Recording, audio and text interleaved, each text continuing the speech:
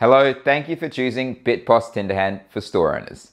In this video, we will cover how you can register and monitor your Tindahan orders. First, simply visit the link below. Next, click Register for Store Owners and you'll be redirected to the app page. Fill in the information including the CAPTCHA to verify your identity.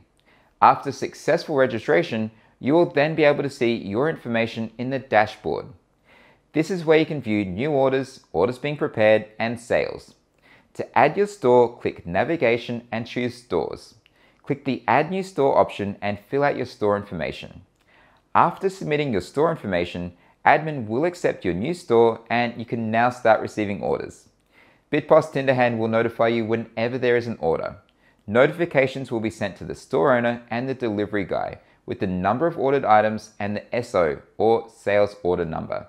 Within the app, you can then view the order and start preparing it for the delivery driver to pick up. On the cashier terminal side of things, the order can also be viewed by entering the sales order number. This will display all the order information. You may specify if the customer is required to declare if change is required or not. Once the items have been prepared, make sure to confirm tendering the item and print the receipt to give to the delivery driver.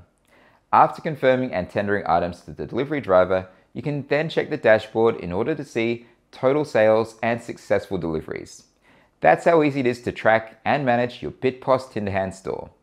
Thank you for choosing to use BitPOS Tindahan.